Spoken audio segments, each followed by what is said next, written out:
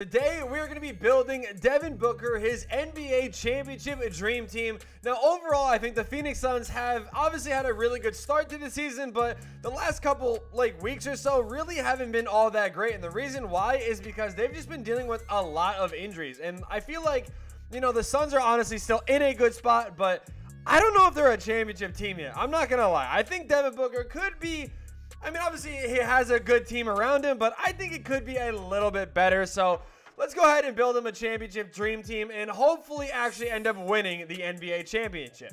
First things first, we're going to be trading for Jrue Holiday. I actually really like Jrue, and I think he is a really good fit next to Booker.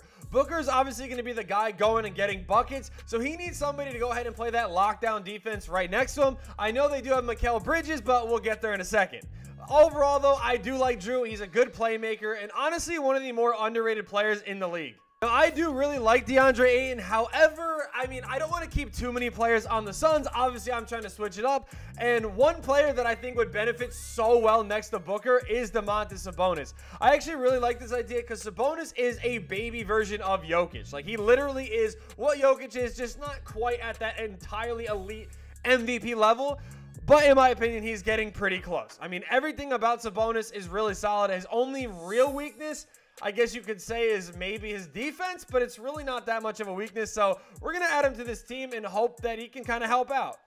Next up, I know it sounds a little crazy, but we were going to be trading for Kyle Anderson. Again, in my opinion, one of the more underrated players in the NBA. If you actually watch games, you know Kyle Anderson, outside of his really weird looking jump shot, is actually one of the most consistent NBA players in the league as far as rebounding, as far as playmaking, as far as just kind of locking up in different situations. Overall, I think he's a really good fit on this team.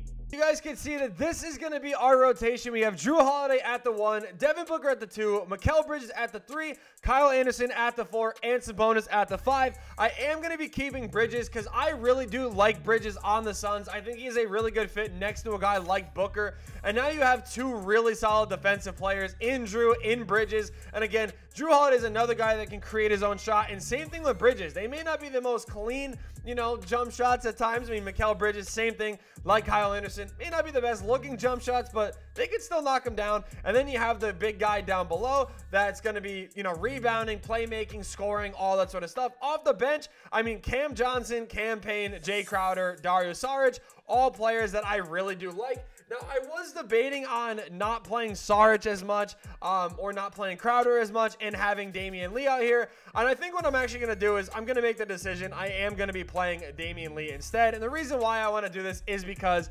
Damion Lee is a part of the rotation in real life. Jae Crowder is not. And I feel like it just makes more sense to kind of do that. But Overall, I really like this lineup. I think it kind of fits together really nicely. So let's go ahead and see what this team can do. So the first week of the NBA, we are going to go one and two. So not the best start. Bridges has a really good game. I mean, it's just shooting really poorly. Oh my God. Like really bad shooting. We do pick up a W against the Trailblazers though. Uh, Sabonis 37, 16, and 9. That is more like what I'm talking about. Again, though, just a lot of really poor shooting on this team. We come away with a win in that game, but again, bad shooting, man.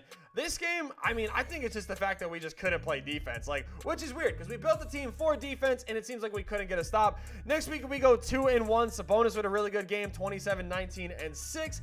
We do lose to the Pelicans. Um, I mean, it is what it is. We obviously are going to lo lose games. And then a huge game from Sabonis and a huge game from Booker to kind of help us win against the Rockets. So three and three to start. I'm kind of hoping by the deadline we can at least be like 20 games over 500.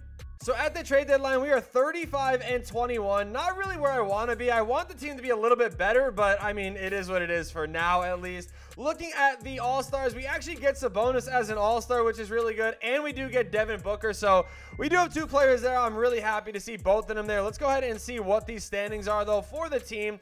Um, obviously, leading the way in scoring is going to be Devin Booker. Sabonis right behind him. Jrue Holiday is just not playing as well as I thought he was. I think for the second half of the season, I'm going to really boost his shot tendency and hope that he does take a little bit more shots because I feel like that's where we have to be slacking is in offense. So points per game, we are the fifth best team, and defensively, we're the second best team with an average point differential of seven. Actually, 6.9, nice. But like, I don't know, man. I just feel like, like I said, overall, like he's just not playing the way, like I don't know, he's supposed to. Like I know it sounds weird, but I don't know. I thought with a 75 shot tendency, it would be playing pretty good. So I'm actually going to up them and kind of hope that maybe the, these guys can be playing a little bit better because overall, I feel like we should be winning a lot more games. Like I feel like with where we've been struggling right now, we're just losing way too many games. So since that, we're actually going to go back to back here um, on nice little wins. Trae Young drops 44, not good enough as Bridges. Thank you, man. Finally, you wake up a little bit. 31 points. Next game, we're going to get Booker lead the way. Sabonis, Cam Payne cool. Jrue's just, I don't know, man. Maybe Jrue is just not good in the sim. Like, I'm starting to think that that maybe is what the problem is. Like, maybe Jrue Holiday is just not good, obviously, in the 2K sim. But in real life, like, in my opinion, like I said, like, the two of them would play so well next to each other. But yeah, again, like, he's just not, I don't know, he's just not it. I mean, I haven't seen one, like, huge game from him yet. Like, literally, like, at all. Like, I mean, 8, 8, and 15. Like, I'll take that, but he shot 4 of 15. Like, we just, I don't know, man. We have to play better because right now it's like, it's not even the team not playing good. It's literally just Jrue Holiday not playing good. And I do feel like he is going to be a big reason why we either lose a playoff game or he's going to come really clutch in one of these games. So hopefully he can like turn it around and be good by the playoffs because like I said, I mean, 21, there we go. Like that's not bad, but it's like Bro, I was expecting him to be like, what is that? Against the Hornets? Like, really? 38, 12 and a half, and 10 for Luka. I don't think anybody's surprised. Miles Turner, Defensive Player of the Year. Tyus Jones, six man. Okay, Tre Jones, most improved. I like that. Getting some new face out there. 59 and 23 though was our record. Not bad. I actually expected them to do a little bit better. And we get Sabonis on an all NBA team, but not Devin Booker, which is actually kind of interesting uh, to say the least here on any of the defensive teams. No, we don't get anybody, and I don't believe we have any rookies um, that really played any big minutes. So we were the first seed in the Eastern or Eastern Conference, in the Western Conference. Obviously, Booker 26 points, five rebounds, six assists. I feel like that's all NBA worthy, at least the third team, but apparently not. Uh, Bridges definitely stepped up the second half of the season, and I feel like that is what resulted in a lot of our um, a lot of our wins as a team. You know, towards the end of the season, which is pretty good. Points per game, we were fourth, so we moved up a little bit, and then we did turn out to be the best defensive team and upped our point differential going into the playoffs. We are on a eight-game win streak as well. Going up against the Denver Nuggets in round number one, we do take game one, led by a triple double from Sabonis, Jrue with 18, and Cam Johnson leading the way. Love to see it. They do tie it up though, 1 1. We lose by four, and Sabonis had a monster game. I mean, he literally, like, he could be outplaying Jokic. Never mind. I was going to say he could be outplaying Jokic, but we lose another game. And I mean, I don't know, man. Jrue literally led the way that game. We tie it up, thankfully. I did not want to go down 3 1 to this uh, Nuggets team because the Nuggets are obviously pretty good in real life and in the sim. So, Sabonis, we have a one point win, man, to take a 3 to 2 lead, and we escape into the second round. But now we are playing the ultimate sim god himself, Luka Doncic, in the terrible, terrible Dallas Mavericks team. He is probably going to steal one on or from us, though. I mean, those are two games right there at home. Going into Dallas, we actually pick up the win. Luka fighting for his life, but hey, I'll take it. Booker leading the way, and like this is just a terrible game overall. You know what I actually forgot to do is I actually forgot to check Kyle Anderson's stats. I actually forgot he was starting, and I am kind of curious to know what he did and if he is good in the sim or not. So let's go ahead and take take a look at that really quick. So Kyle Anderson, I mean, eight and a half points, five rebounds, four assists, two steals, and a block. That's what I'm talking about. That is the type of stuff that he provides for this team and what I think he could really do, especially even in real life. Like I actually like him, you know, putting up some decent numbers like that. Like that's actually not that bad. So we do sweep the Dallas Mavericks though, which is a little surprising. And now we are going up against the other sim god in Zion Williamson. So Jrue, this is what I like. When Devin Booker slacks, this is what I like to see, man. Booker leading the way. Cam, Jrue Holiday again. Thank you. I told you guys. This team should have more success in the regular season if it wasn't for Jrue Holiday just completely like doing nothing all play or all season long. Sabonis is our conference finals MVP with 23 and a half points, 21 rebounds, six assists, a steal, and a block per game.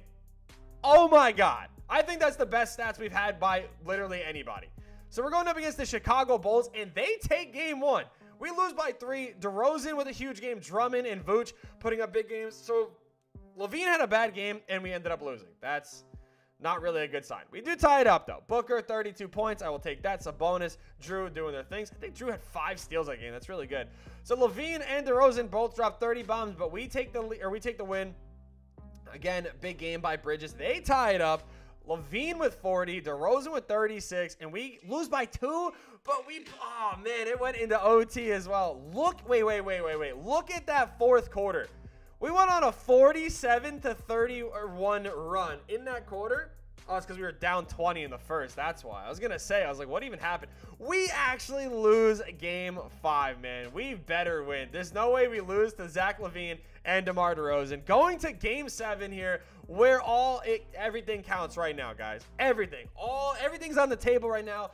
Can we come away with the victory? We jumped out to a huge lead in that first quarter. That's what I like to see, though.